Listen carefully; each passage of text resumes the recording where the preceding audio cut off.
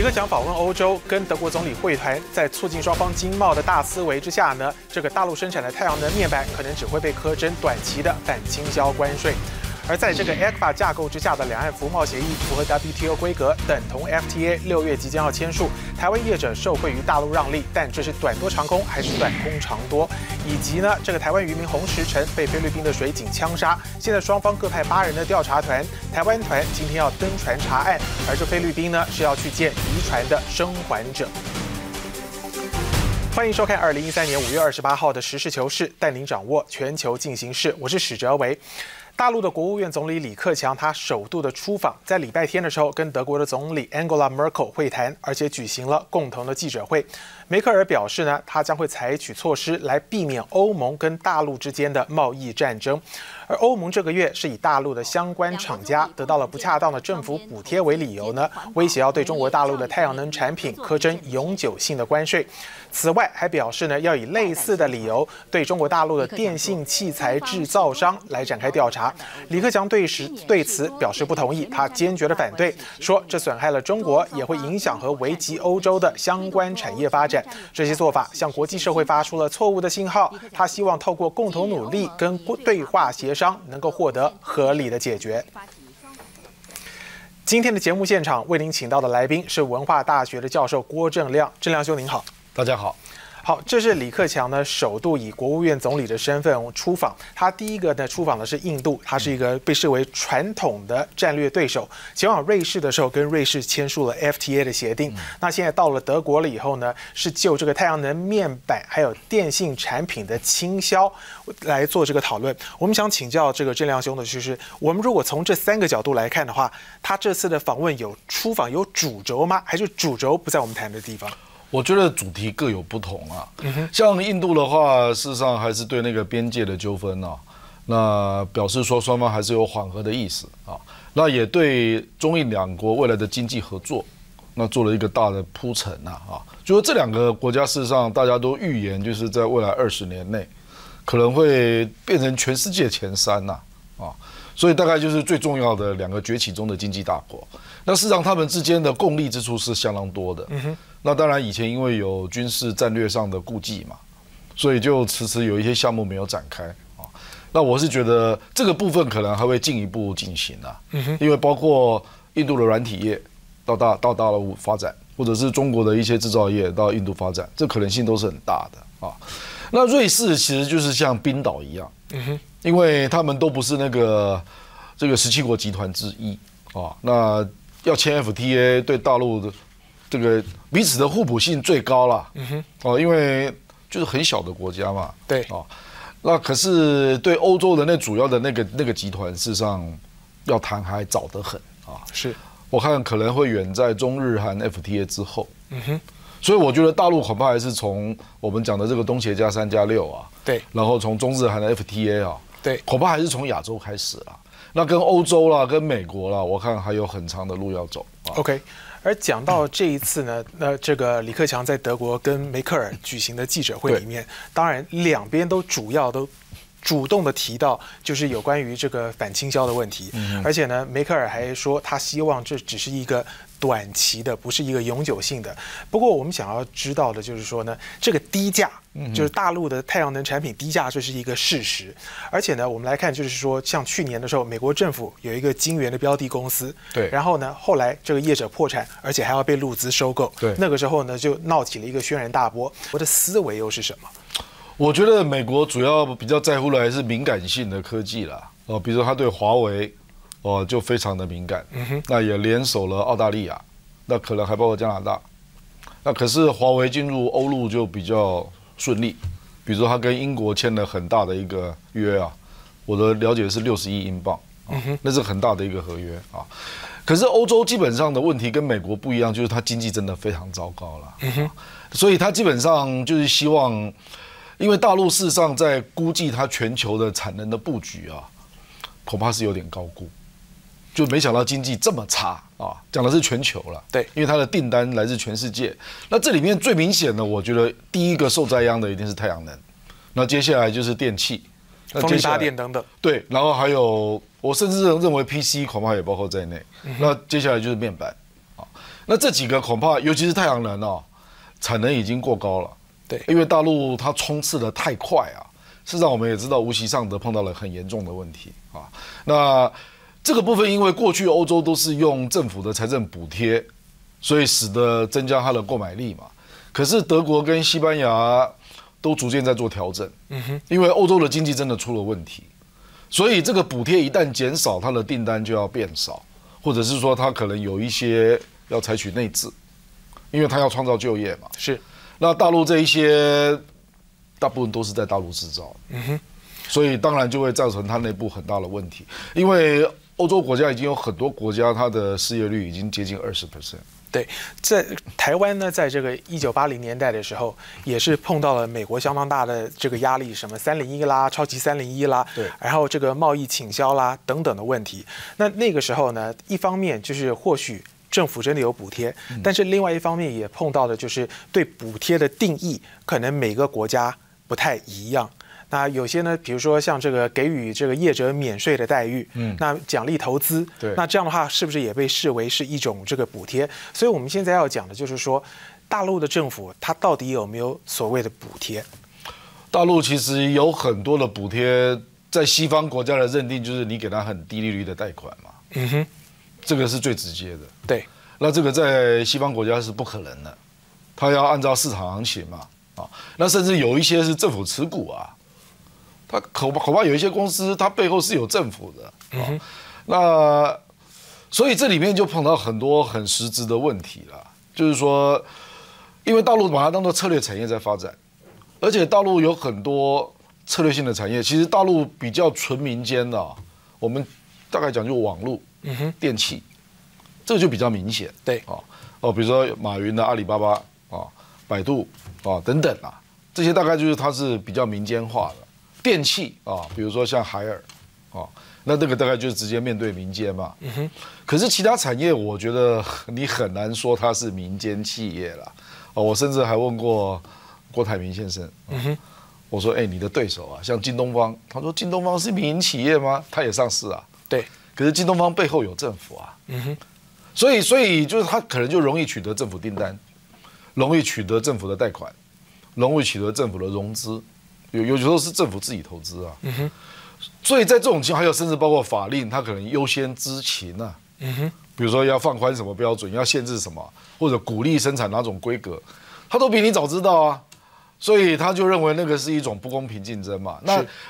你你去想一想，连台商都这样认为，何况是欧洲？对，跟美国人。而这次呢，这个 Angela Merkel，我们看到在记者会上呢，她的态度是朝解决问题的方向走。对，基本上呢，她是要强调这合作面不是对立面，而且呢。他也认为呢，事实上他应该也是受到了不小的压力，因为尤其德国在这个太阳能面板还有太阳能等等的科技，在欧洲可以说是最强的。对，而且呢也被路货应该是打得最惨。所以在这样的一个状况之下，他是不是权衡利弊得失？因为我们不要忘了，就是德国的电信业者对也非常的需要大陆的市场，所以呢，他有没有可能就是对于相较于原本要说的是永久性的关税，现在讲到的是呢这个关税理论上就是希望年底就到此为止了，有没有可能是因为权衡利弊得失了以后，他觉得说，尽管德国的太阳能面板是受到了很大很大的压力，而且很多家已经不行了，但是呢，想到另外德国可以赚到的钱，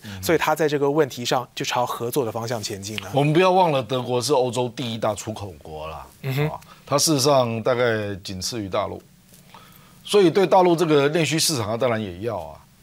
所以你如果这样来搞大陆，大陆当然也可以在内需市场搞你啊。嗯哼，他当然不希望这样嘛。我觉得梅克尔完全是为了即将面临的选举啊，因为他上次的地方选举是输了，哦，而且相当严峻，所以他总要，因为他是保守党嘛，所以相对相应，他一定面对很多失业劳工的抗争了啊。因为社民党是比较是劳工为基础的。所以梅克尔一定会碰到这个经济压力，就是失业问题，然后就业的需求，而且选举就即将来到，所以我觉得这个是短期的。可是他当然这个这个绝对不是说我永远要跟你怎样啊，这个国国与国之间的经贸谈判没有这回事啦。更何况大陆的内需市场未来恐怕是世界第二，哦，所以所以你你碰到这个这样的一个情况，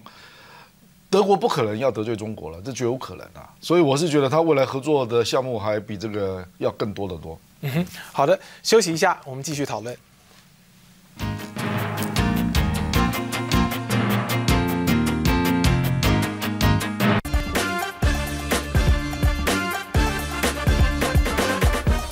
两岸在近期呢将要签署这个服务贸易协议，时间点应该就是在六月的第九次凌晨会。这陆委会的主委王玉琪表示呢，大陆方面开放的项目比 ECFA 的早收清单是成长了七八倍之多，其中电子商务、金融服务还有文化创意呢，台湾方面是争取到了比外资跟港资更优惠的待遇。其他还有这个没有开放的项目，将会在协议的基础上面继续的进行协商。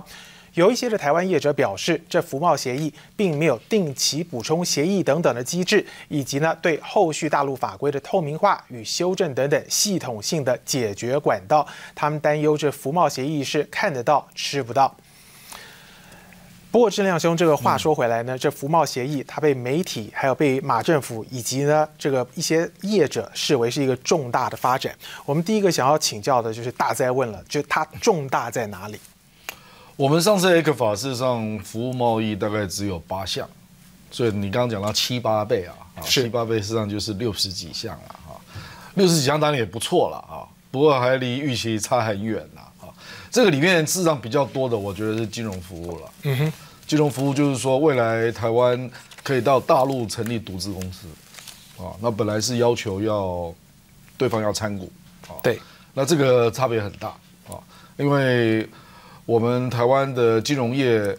确实很想在大陆有所发展啊，而且大陆的利差比台湾大，它的市场也比台湾大很多。对，所以这个机会是很大的啊，所以对金融业是大力多。可是其他我觉得其实并不明确了啊，比如说文化创意产业啊，文化创意产业可能大家可能更在意的，比如说像线上游戏，嗯哼，或者是比如说淘宝网，嗯哼，淘宝网现在已经在台湾。这个火红的展开啊，对，那我们的 PC Home 想要去大陆，对，哦，可是迟迟还没开始，哦，这牵涉到可不可以邮寄啊，对，这些问题啊，那我当然不说 PC Home 有这个竞争力了啊，坦白讲，你规模小那么多，嗯哼，可是它也许可以发展一些利基市场之类的，可是我觉得台湾可能本来想到的一些项目并没有列入了啊，比如说技术服务。哦，这个技术服务就是我们讲的什么工程、工程的顾问那一类的啊，这一类并没有如预期的纳入。还有另外一个就是大家立即可以想到的旅游业，呃，旅游业也没有纳入啊。那旅游业当然对中港来讲，因为香港有纳入，哦，那我们台湾没有纳入，所以有蛮多人很失望了，因为这个是一个很大的饼，而且可以预期会成长的非常快啊。那这里面当然就是大陆，大陆其实对香港跟台湾还是有所区别啦。我们大概只有少数几项比香港得到比较好的待遇啊。可是你要知道啊，因为香港的金融业它有很多，你不能说它是港资啊。哦，比如说汇丰银行，你说它是什么呢？哦，它实际上是英资啊。它只是说它的基的基地是在香港。对啊，所以我们有部分的金融服务得到稍微好一点的待遇啊。可是香港大部分的项目，而且香港的项目是远多于台湾，那这个当然你也不能够怪大陆，因为香港已经是大陆的一部分，特别行政区了，它已经是统一了嘛，它已经统一了啊，所以台湾确实比外资要多非常多，因为大陆服务业是严格管制的，大陆给外外国的服务的项目大概总量大概不会超过四个 percent，那台湾这次大概会得到十到十五 percent 之间，嗯哼。那香港是更更高，对，哦，香港大概七十趴以上。我们如果说这一次呢，就像陈如正亮兄讲的，对于这个金融业来讲的话，可以说是一个利多。利多。我们能不能说说，就是台湾有哪几家的金融业者是可以直接和立即的受惠的？我们是让证券业者是立即受惠，因为他们早就想在那边成立独资的证券公司。像有哪些家呢？大概？有很多都已经去了，是，只是迟迟因为没有开放独资，他就一直没有正式运作，都只有成立一个 desk 一个办公桌，啊，那有啊，比如说中信，中信早就去了。其实我我我就曾经跟中信聊过天呐，他们现在叫 KGI，叫凯基啊，对，他就跟我抱怨啊，他说十几年前啊，他们跟大陆的中信证券是一样的，那因为长期没有开放嘛，那现在大陆的中信证券是比他们超过十倍大，对，因为这个就是在长期过程里面，你就拿不到它的 IPO 的 case 啊。对，那我们也知道，大陆大概在大概在二零零五年之后到二零一零年中间，是大量的大陆的 IPO 到香港上市嘛。那台湾基本上都没有争取到了，对，通通都是港资跟中资的证券业嘛，所以你就失去了很大的机会了啊。不过这里面刚刚业者的那个抱怨是有道理的，因为我们的这个 EC 法的服务业的谈判啊，服务贸易的谈判是一次性的谈判。对，它并不是像制造业啊，因为制造业我们知道货品清单上次只有五百三十九项啊，那事实上还有七八千项没有谈嘛，所以这个是必须半年一次一次的这样谈下去，好，慢慢克服。所以大家会预期货品清单还可以慢慢再加，会有补充性的慢慢再加啊。可是服务贸易并没有，所以很多人就会说，那这次没有，下次是不是就没有机会？为什么没有呢？不，因为当初当初马英九在设定这个议题的时候，就希望就是一次可以谈多一点，嗯哼，所以并没有把它类比成像货品贸易这样子来设定啊，哦，可是后来我们看到这个，我们当然也看到大陆的善意啦，因为他给台湾是项目蛮多的，我们说六七十项，这个确实比其他国家已经好很多了哦，可是就这样是不是就结束了？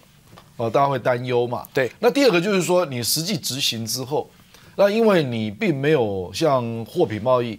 还可以慢慢的来检讨嘛，对，每半年都要检讨。那很多人就会说，会不会看得到吃不到啊？哦，我随便举例了，比如说、我们证券业去了，那你未来再取得同样的，比如说大陆的 IPO 的项目，你是不是会有公平竞争的空间？这个我们真的不知道。对，还没有发生吗？哦，或者是讯息的取得，是不是也会有公平竞争的机会？因为金融业讯息取得是很重要的。对。不过话说回来的话，在这个马政府是一再的强调，在许许多多的部分，包括这个部分呢，事实上台湾已经获得了这个超越 FT FWTO 的待遇，而且呢是超越了这个给予香港的待遇，或者是给予其他国家的待遇，这样的说法是符合事实的吗？符合事实。哦，超越香港不能这样讲啦，是几个项目啦。OK，香港远超过我们啦，就总量而言啦，哦，因为香港已经讲的已经是大陆的一部分了嘛，它它已经不是作为国与国之间谈判了，所以而且香港的主要的竞争产业就是金融业啊，所以大陆事实上已经给香港非常大的便利了，比如说旅游业，事实上到香港的旅游业就是这样成长起来的啊、哦，它本来就很强了，那加上所以后来我们台湾的所有的 shopping mall，比如说陆客来台湾。事实上，陆客来台湾的走过的那个购物的那个途径啊，有三分之一是香港人控制的。嗯哼，因为他们早就做这个了嘛。对，而且陆客到香港是超过一千万人次啊，我们台湾才三百万人次啊，所以他们已经累积够多的经验，甚至于据我了解啊，包括机票的取得，那香港的旅游业大概也垄断了将近三分之一以上的机票。而说到这个，事实上呢，业者，我们晓得在台湾的话，大家常常就是指控财团在后面要企图影响政策，而且呢，政策也还有真的多多少少被影响。但是呢，这在我们如果从过去这十多年的历史来看的话，事实上呢，这个台湾的这个金融服务业的财团的负责人也是勤跑大陆，对希望就是能够得到这个开放等等的优惠。但是如果说从这个长长的时间我们过来看的话，就是他们这些台面下的努力，到底有没有产生明确的帮助？哦，当然有，这个最明显就是富邦银行啊。嗯哼，那富邦银行就是被这个服务贸易的协商拖到了嘛，所以他就自己搞了，他就去香港并了一家阿拉伯的银行，然后后后来变成香港富邦，然后再进去大陆。还有他比如说到厦门跟厦门银行合作，他大概是跑第一个的啦。啊，那有一些是后来去买了上海的华裔银行。嗯哼，哦，因为那个宝城，因为他要退出金融业嘛，那就把它卖出来啊。可是这个不能叫做金融业啦，因为这个就是一个交易，一个并购的交易。那另外就是吸引入资来参股的，哦，那这个最明显的大概是永丰金呐，哦，那远东银也在谈啊，远东银哦，可是就是说，因为实在是慢太多了。那您刚提到的中信呢？对，中信主要是证券业，它证券业想要去，中信金的规模并没有，因为我们怎么讲，那个最最重要的那个竞争期都已经过了，是因为现在大陆的银行是全世界前三呢，我们说我们或许可以说是战略机遇期都过了，都过了。对，所以就是说，在大陆，它金融知识还没有那么多的时候，还没有那么庞大的时候啊，那你台湾迟迟不去，不谈这个议题嘛？那他就跟香港合作了吧？哦，或者跟美国合作了，因为美国跟香港的金融业是世界最最最顶尖的嘛，他就轮不到跟你台湾合作啦。而且我刚刚已经讲了吧，就是说，尤其是证券业，证券业要到香港上市跟到海外上市那个过程。就是最近这十年嘛，是未来要有更大的 IPO 案也不多了，所以你就这个我们用大陆的字眼叫战略机遇期，那个机会都被人家拿走了，哦，大概都让香港，尤其是大陆本身的银行跟证券业都站起来了。好，这逝者已思呢，来者可追。当然了，这个对于台湾来讲的话，签署了这个协议一定是短多，但问题是就长期来讲是看多还是看空？休息一下，我们继续讨论。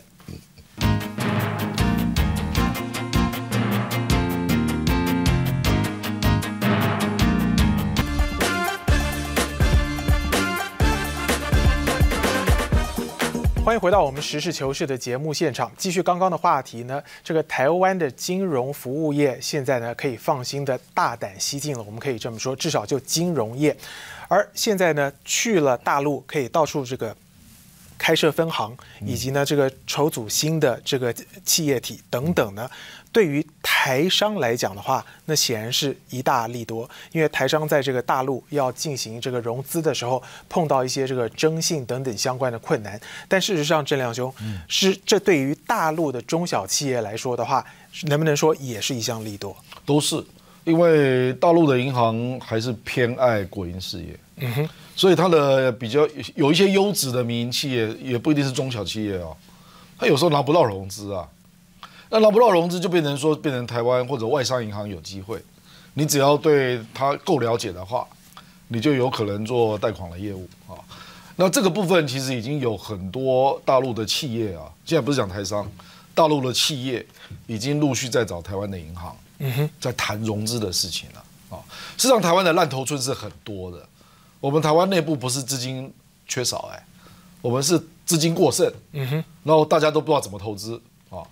那就变成说，他可能有多了一个管道来做融资嘛，啊，那第二个就是台商啊，因为台商基本上，因为他长期跟这些银行有往来，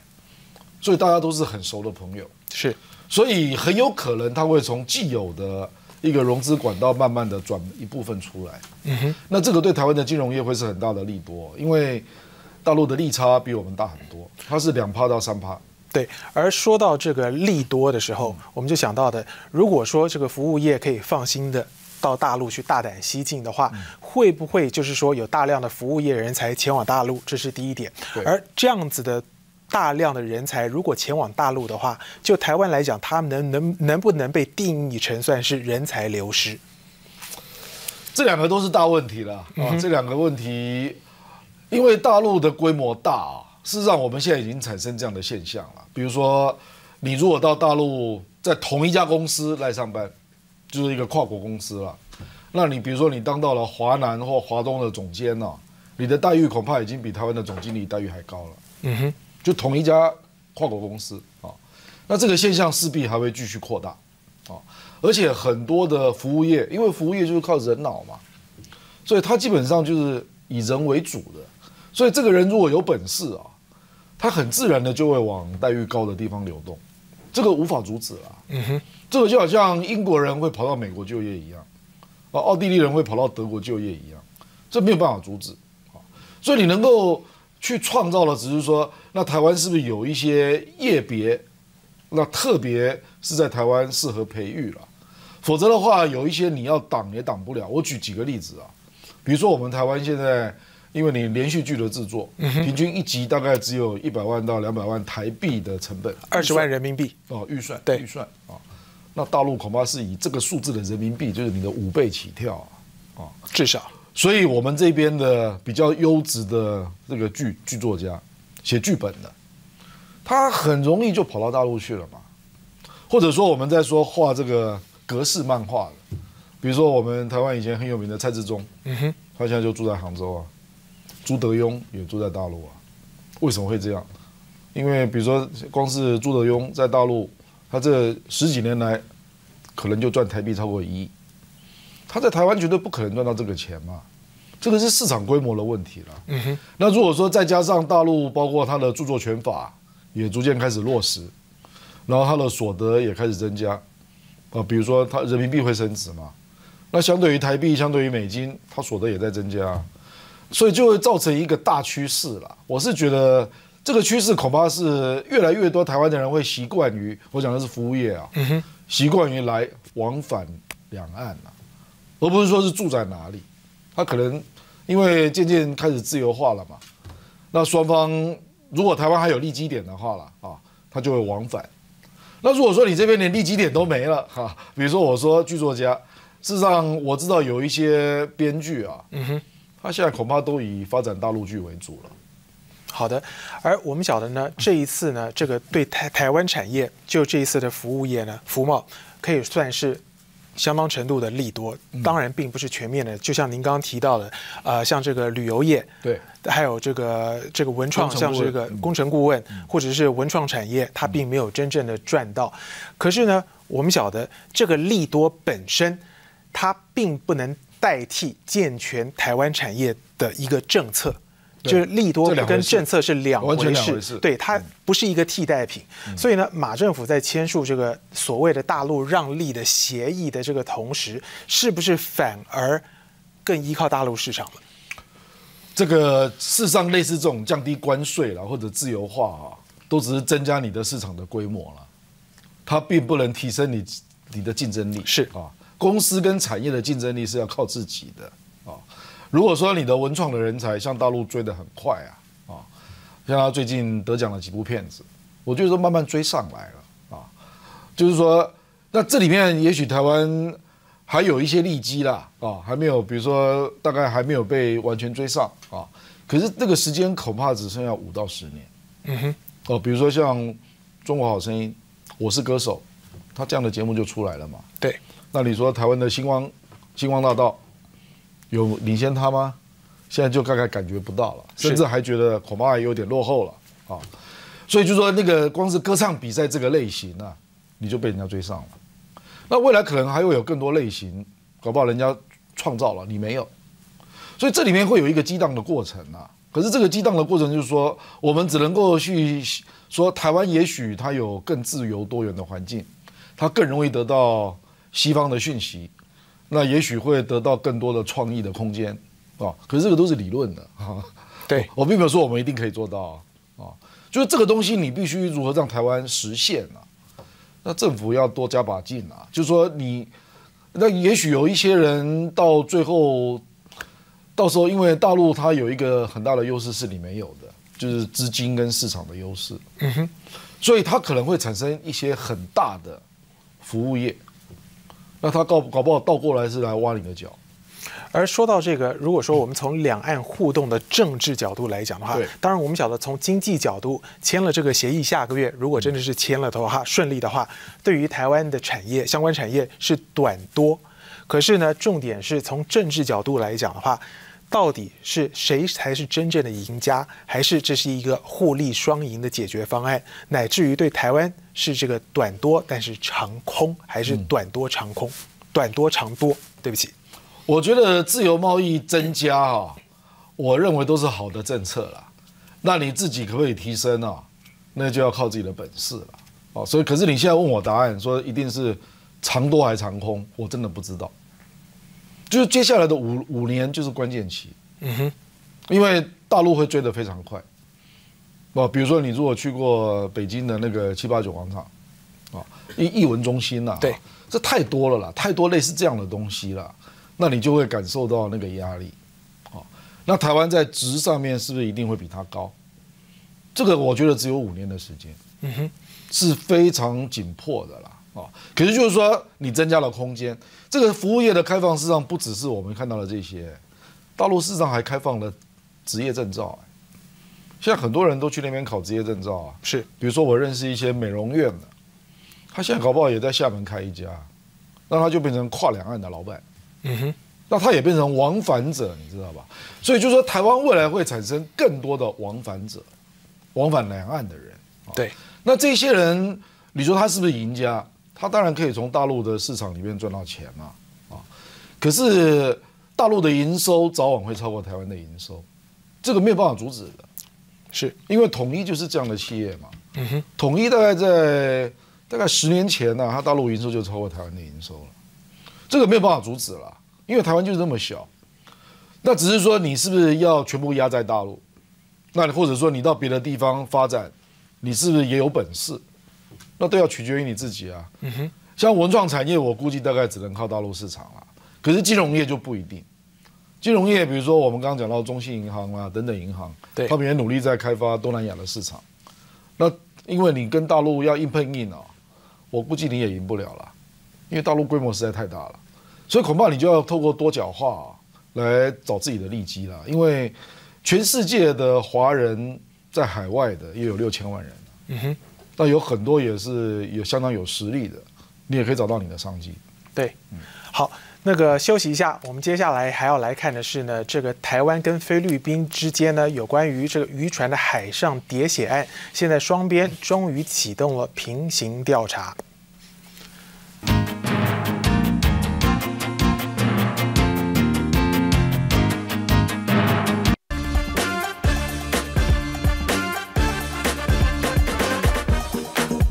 为了要追查五月九号呢所发生的广大兴二十八号的海上血案真相，台湾方面的调查团昨天再度的前往菲律宾了。不过呢，不是一开始的十七个人，而是八个人。他们第一天是先开会协调工作的内容，而且呢也已经完成了查验这十五把的涉案枪支，来比对呢是不是吻合先前在台湾这个渔船上所采证的验件结果。同时呢，也查阅了十一名涉案的菲律宾人员他们的侦讯笔。笔录，今天的话是登船要勘验涉案的公务船，明天要看案发的录影带，还有询问涉案的人员。抵达菲律宾第二天，我国调查团马不停蹄，一早就前往国家调查局继续交涉。因为二十七号检验胸腔后，这天目标就是要登船检查，而这艘船就停在海岸巡防队旁边。从制高点往下看，MCS 三洞洞幺。这艘造成广大信号袭案的凶船，在案发过后已经拖回马尼拉港边，菲律宾检警已经初步检查过，现在就等我国调查团下午上船勘验。那目前最新的进度呢，就是今天调查团呢有可能在早上的时候或者下午会来看这个当时呃渔船呢跟这个公务船在海上的录影带，来看一下当时的状况。那还有在接下来呢，有可能还会到这个海巡署，那检察官们呢将会登船来看这个海巡署的船，并且呢来进行这个勘验的动作。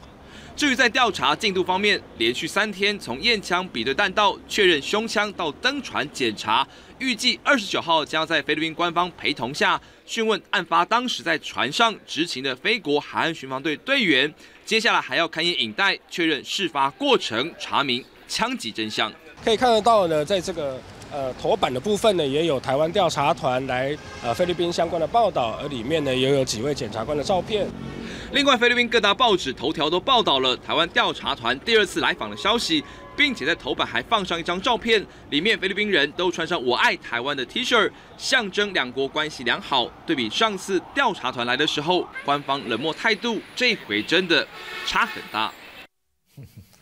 而所谓的平行调查，至少在形式上呢，菲律宾的调查团昨天也抵达了台湾。抵达之后，事先前往法务部进行了闭门的会议。法务部有提供被枪杀船员的解剖报告等等的文书。而第二天，就是今天一大早呢，调查团是搭乘高铁前往屏东地检署，由屏东地检署的检察官来协助侦讯这三生还的三名船员。洪家人呢，下午也会到场。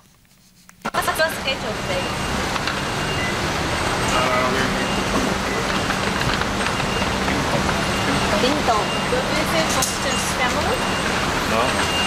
拖着大包小包行李，菲律宾调查团一行人由调查局国际处处长德甘佐领军，早上从饭店出发，抵达台北车站，搭九点半的高铁，准备南下屏东。根据团长的说法，啊，对掌握相关的这个资讯呢，他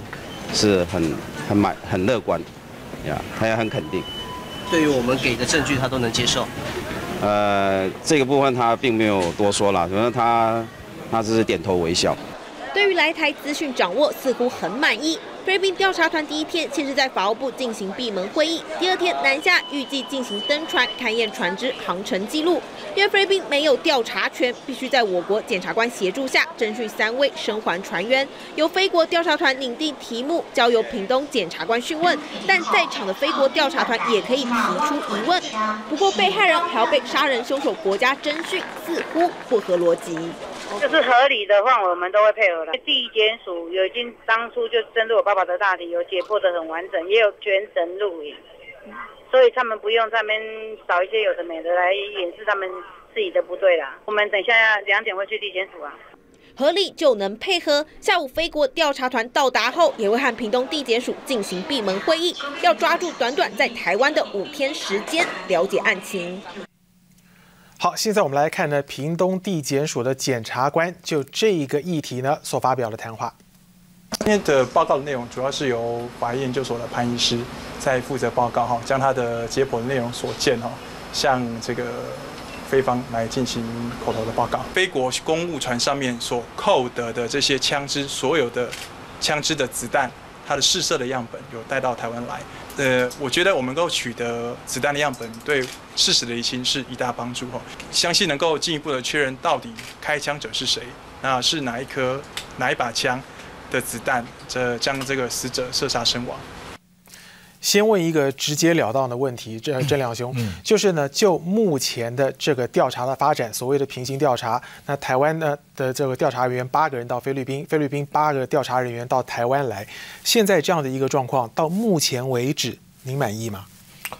我觉得我们如果没有办法侦讯菲律宾的嫌犯啊，那事实上很难去调查出动机了啊，因为现在的事实上双方的争议点啊。因为菲律宾已经有点软化立场，嗯哼，他现在大概也朝说他这个违反了这个对接原则，这个 engagement rules，他说他应该是违反的，那可能有这个执法过当，那过失杀人的可能性，对，这个大菲律宾已经大概承认这个可能性存在了，而且很可能会朝这个方向结案哦，对，哦，那只是说因为是十一个人，不知道有多少人同时开枪嘛，所以到底是哪一个人确切？导致死亡不知道，因为不知道是谁射的子弹，因为可能有很多人同时射子弹啊。可是过失致死跟执法过当，我觉得应该是蛮确认的。OK，那如果是这样的话，我觉得这个平行调查没有结没有没有效果，因为我们没有办法侦讯嫌犯，所以就没有办法去了解动机了。那这样的一个结果，很可能就是还是停留在菲菲方所认定的，就是说。啊，好了，我就是杀了人嘛。嗯哼。可是我是执法过当，那当然执法过当前面就要找理由了嘛，就说是不是有越界？啊，越界我们讲的不是说那个二十四海里啊，对，是说他有设浮标，是不是真的有撞到？对，啊，那这个恐怕就要调录影带出来看了。对，那我认为这个到大概再过几天可能就会浮浮现。好，您认为就是马政府呢，现在就这个平行调查还有这个。调查结案有没有一个预设立场的压力？因为马英九自己也已经讲过，而且台湾的所谓的名气吧，都是认为这是一个谋杀，就是一个蓄意杀人的事件。那从现在的这个目前的发展态势来讲的话，您有没有感觉到这一股气氛形成一种政治压力？要马政府方面呢，一定要让他不能是朝。这个意外杀人，就菲律宾方面就先放一边，至少就台湾方面，屏东地检署的调调查方面的话，他会不会有这样的压力？就是一定要以这个非意外的方式，乃至于是谋杀的方式来结案。我觉得关键是录影带了，因为录影带如果所拍出来的啊，是渔船有撞到浮标，然后有明空开枪这个动作，然后接下来才做出杀人的行为啊。那当然，杀人就是不对了。是，你在任何地方你也不能杀人啊，你最多只能扣船，哦，或者登船，你也不能做体罚、啊，这个都违反国际海洋法第七十三条。所以违反国际海洋法七十三条已经确认，嗯哼，现在只是在确认说他是不是蓄意啊。对，所以在这里录影带调出来之后，我觉得就会看到一些新的事实了啊。那除此之外啊，这个也许他就根据那个录影带，还有事实实际上造成有人死亡嘛，对，然后菲律宾也会做一定的一个呃审判了啊。对，可是二零零六年那一次，菲律宾那方面是判无罪，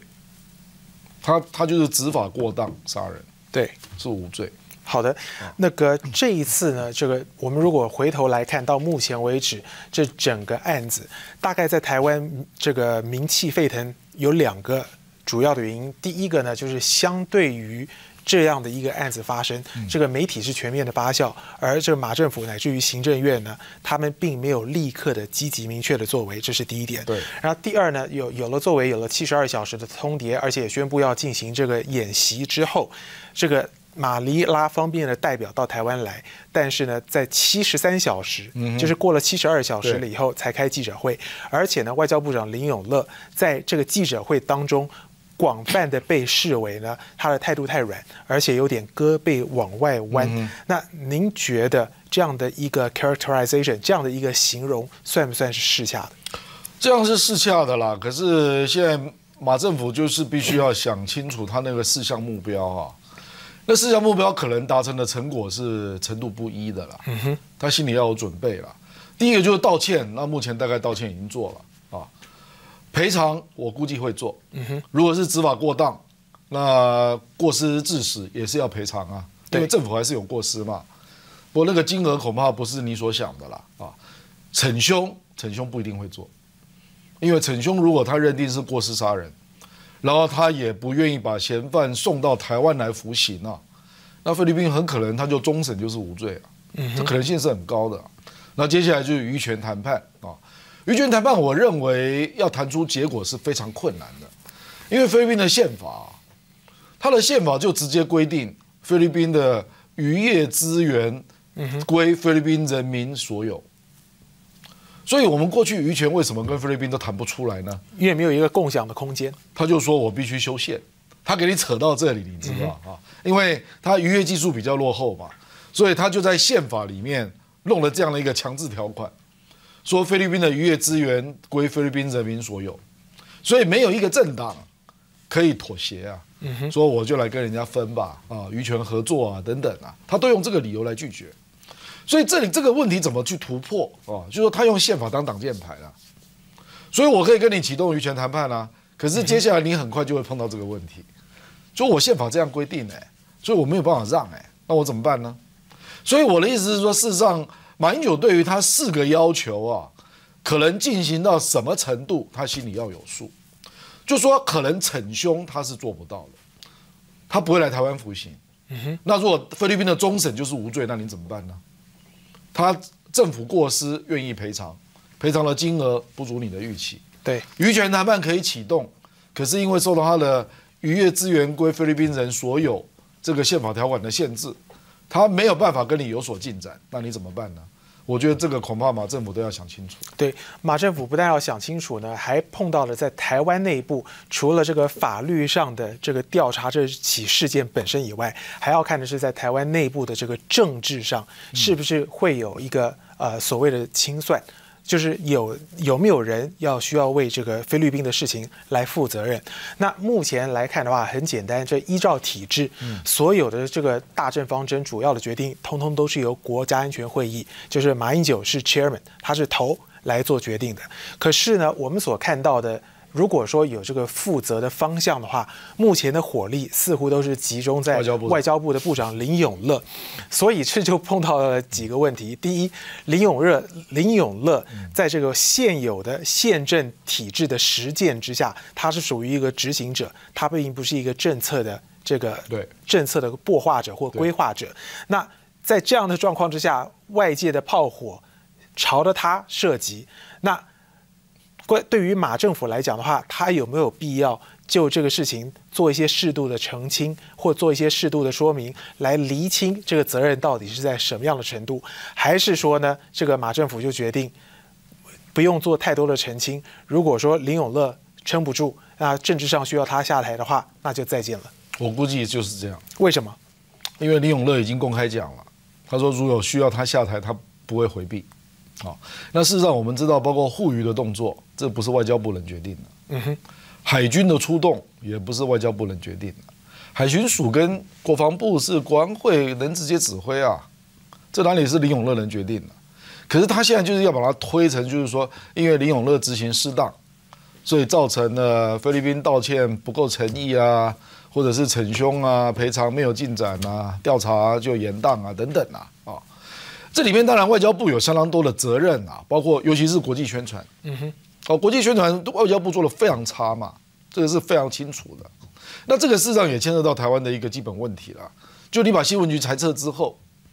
我们台湾的对外宣传恐怕就是严重问题了。嗯哼，这个只是第一个个案啊。可是就是说我刚才已经讲了，包括互娱、经济制裁、海军的出动，还有互娱行动要不要强力继续执行？因为我们的预计到六月底啊，对，这些都不是林永乐人决定的，哦，那最后会使得菲律宾开始有感受到这么大的压力，必须要做立场上的调整，比如说美国立场的转变，这恐怕也跟我们的强力互娱是有关的，嗯哼，因为美国不希望台湾跟菲律宾发生军事冲突嘛，所以因为我们做了强力互娱的动作，而且海军也出发了，啊，这个记得那个拉法叶舰出发了啊。所以美国紧张了，美国就说：“哎，你菲律宾要处理一下吧。”那这个不是李永乐能能能改变的局面呢？是你看我们李永乐能够做的，就是菲律宾就不理你嘛，你来文了我不理你，啊，那你国际宣传做输我嘛，我就继续乱搞你啊。那接下来应该是台湾诉诸实力外交，实力外交菲律宾搞不过你嘛，可是对不起啊，实力外交都不是李永乐能够决定。对，而最后一个简单的问题，您认为如果林永乐下台的话，对于台湾的民意来讲，够不够？还是会还会继续就责往上发展？我觉得不可能，因为马英九，因为事实上我们知道海巡署跟国防部是表现的不错的，嗯哼，我们大概就会做出一个结论啊，就说海巡署以后就要持续强力护渔，嗯哼，然后确保我们渔船的权益。好的，今天呢非常感谢这文化大学的教授郭振亮呢郭博士到我们节目上来进行分析还有点评，实事求是带您掌握全球进行式。感谢您的收看，我是史哲伟，我们明天再见。谢谢。